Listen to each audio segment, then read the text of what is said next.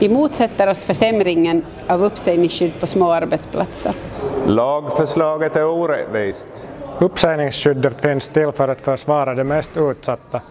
Vi står upp för dem. Alla har rätt till samma anställningstrygghet oberoende om man jobbar på ett stort eller litet företag. Nu har vi fått nog. Uppsägningsskyddet får inte försämras. För att våra barn och ungdomar även i framtiden ska ha en säker och trygg anställning att gå till måste vi ta kampen mot regeringens försämringsförslag nu. Hela den här regeringsperioden har ju handlat om bara nedskärningar. Vi har inget förtroende för regeringen. Nu räcker det.